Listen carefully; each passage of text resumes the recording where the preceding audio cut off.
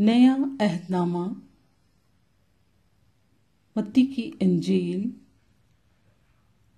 पहला बाब, यीशु मसीह के अबाव अजदाद।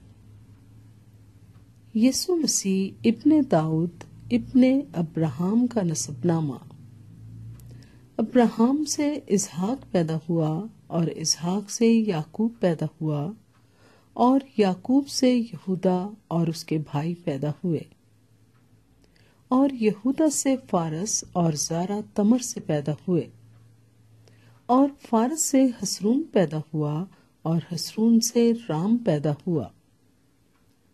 और राम से अमीनदाब पैदा हुआ और अमीनदाब से नहसून पैदा हुआ। और नहसून से सलमून पैदा हुआ और सलमून से बोइस रहब से पैदा हुआ और बोय से उबेद रूद से पैदा हुआ और उबेद से यसी पैदा हुआ और यसी से दाऊद बादशाह पैदा हुआ।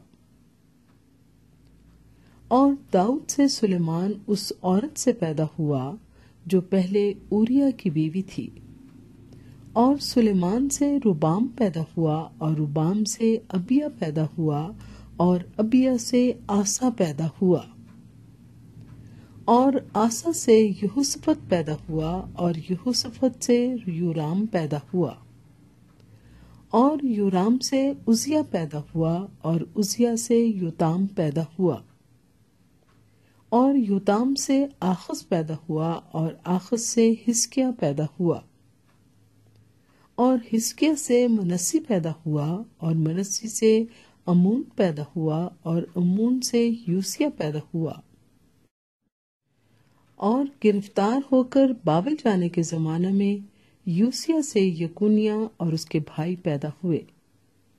और गिरफ़्तार होकर बाबल जाने के बाद यकुनिया से सियालतीएल पैदा हुआ और सियालतीएल से सुरबाबल पैदा हुआ।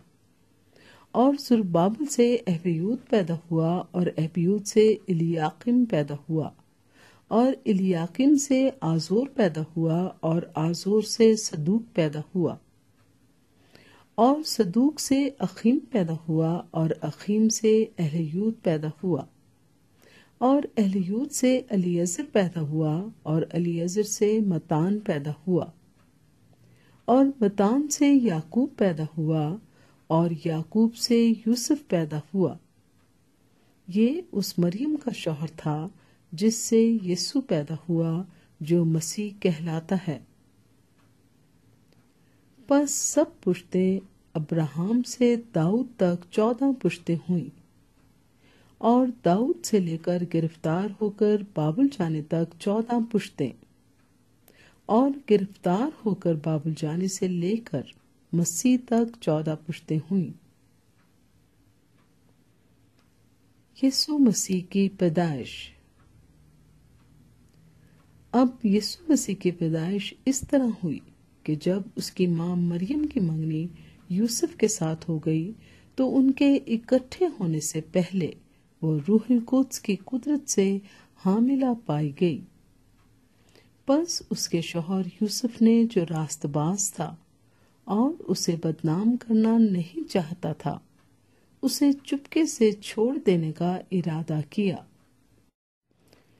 वो इन बातों को सोच ही रहा था कि खुदामंद के फरिश्ते ने उसे ख्वाब में दिखाई देकर कहा ए यूसुफ, इब्ने दाऊद, अपनी बीवी मरियम को अपने यहाँ ले आने से ना डर, क्योंकि जो उसके पेट में है, वो रूहुल को उसकी कुदरत से है। उसके बेटा होगा और तू उसका नाम यीशु रखना, क्योंकि वही अपने लोगों को उनके गुनाहों से निजात देगा। ये सब कुछ इसलिए हुआ कि जो खुदावन ने नबी की मार्फत कहा था, वो पूरा होके, देखो, एक कमवारी हामला होगी और बेटा जनेगी और उसका नाम इमैनुअल रखेंगे, जिसका तर्जमा है खुदा हमारे साथ। बस यूसुफ ने नींद से जागकर वैसा ही किया जैसा खुदामंद के फरिश्ते ने उसे हुक्म दिया था। और अपनी बीवी को अपने हाथ ले आया और उसको ना जाना जब तक उसके बेटा ना हुआ और उसका नाम यीशु रखा।